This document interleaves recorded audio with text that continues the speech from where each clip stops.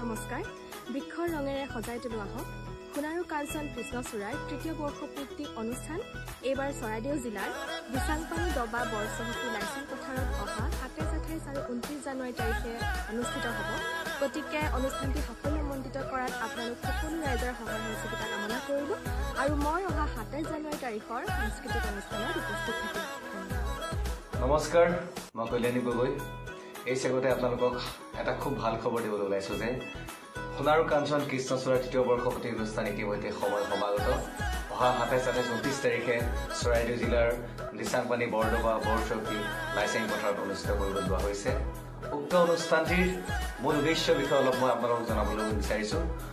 এই অনুষ্ঠানটিৰ মূল উদ্দেশ্য হৈছে এই ধৰণে এই পৃথিৱীক সেউজী ফল ফুলেৰে সজাই তোলা।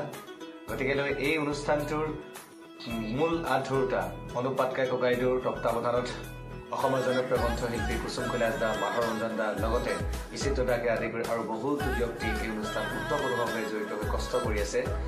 গতিকেলৈ এই অনুষ্ঠানটো সাফল্যমণ্ডিত হোৱাত আপোনালোক সদৌতি ৰাইজ উপস্থিত থাকিব। লগতে সকলোৱে সংকল্পবদ্ধ লওক যে এই অঞ্চলক এই অসমখনক আমি সেউজী ফল ফুলেৰে সজাই তোলোঁ। আৰু এটা কথা আপোনালোক জনাব পাই সুখী হৈছোঁ এই অনুষ্ঠানটোত উপস্থিত থাকিব অসমৰ স্বয়ংধন্য শিল্পীসকলৰ লগতে বহুতো গণ্যমান্য ব্যক্তি। গতিকেলৈ আহিব আপোনালোক সকলো উপস্থিত থাকিব আৰু অনুষ্ঠানটো সাফল্যমণ্ডিত কৰাত সহায় সহযোগিতা কৰিব। ধন্যবাদ। নমস্কাৰ। মই কৃষ্ণৰাজ। পোনপ্ৰথমে আপোনালোক সকলোলৈকে মোৰ ফালৰ পৰা ইংৰাজী নৱবৰ্ষৰ বহুত বহুত মৰম আৰু শুভেচ্ছা জনাইছোঁ।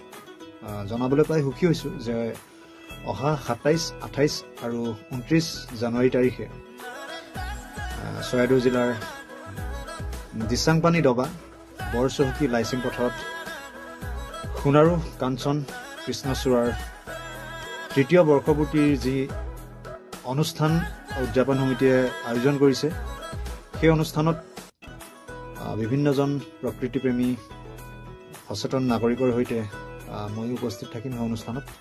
আশা ৰাখিছোঁ আপোনালোক সকলোৱে এই অনুষ্ঠানত উপস্থিত থাকি অনুষ্ঠানটি সাফল্যমণ্ডিত কৰাত যেন সহযোগিতা আগবঢ়ায়। ধন্যবাদ। সোণাৰু কাঞ্চন কৃষ্ণচূড়াৰ তৃতীয় বৰ্ষপূৰ্তি অনুষ্ঠানটি। দুহেজাৰ তেইছ চনৰ অহা সাতাইছ আঠাইছ ঊনত্ৰিছ জানুৱাৰীত চৰাইদেউ জিলাৰ দিচাংপানী দবা বৰচৌকী আৰু লাইচেং পথাৰত অনুষ্ঠিত কৰিবলৈ সিদ্ধান্ত কৰা হৈছে। মই উক্ত অনুষ্ঠানটিৰ উদ্দেশ্য সম্পৰ্কে আপোনালোকক দুটামান কথা অৱগত কৰিবলৈ চেষ্টা কৰিম। বৃক্ষৰোপণৰ যোগেদি পৰিৱেশ পৰ্যটনৰ দৰে এটা ইতিবাচক দিশ প্ৰতিষ্ঠা কৰাই এই অনুষ্ঠানটোৰ মুখ্য উদ্দেশ্য। বৰ্তমান সময়ত বৃক্ষৰোপণৰ গুৰুত্ব আৰু প্ৰাসংগিকতা কিমান? এই কথা প্ৰতিজন সচেতন ব্যক্তিয়ে চাগে আজি তাৰিখত অনুভৱ কৰে। কিয়নো বৰ্তমান সময়ত কংক্ৰিটৰ পৃথিৱীখন ইমানেই বেছি সম্প্ৰসাৰিত হৈছে যে যাৰ ফলত আমাৰ পৰিৱেশৰ যি স্বাভাৱিক অৱস্থা তথা স্বাভাৱিক সৌন্দৰ্য সেই সৌন্দৰ্য ম্লান পৰা উপক্ৰম ঘটিছে। আৰু সমাজত বিভিন্ন ধৰণৰ প্ৰদূষণৰ মাত্ৰা বাঢ়িবলৈ আৰম্ভ কৰিছে যাৰ ফলত আমি বিভিন্ন ধৰণৰ অচিন বেমাৰৰ মুখামুখি হ'বলৈ আৰম্ভ কৰিছোঁ।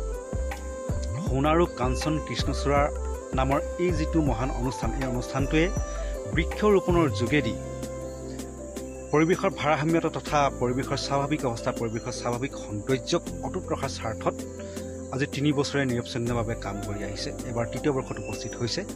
মই আপোনালোকক আহ্বান জনাওঁ যে অনুষ্ঠানটো কোনো ব্যক্তিকেন্দ্ৰিক নহয় এইটো এটা সামাজিক অনুষ্ঠান সামূহিক অনুষ্ঠান। এই অনুষ্ঠানটোত আপোনালোকে নিজেও এজন এজন দায়িত্ববোধ সম্পন্ন সদস্য হ'ব পাৰে আয়োজক হ'ব পাৰে। আপোনালোকক আহ্বান জনাওঁ এটা গছ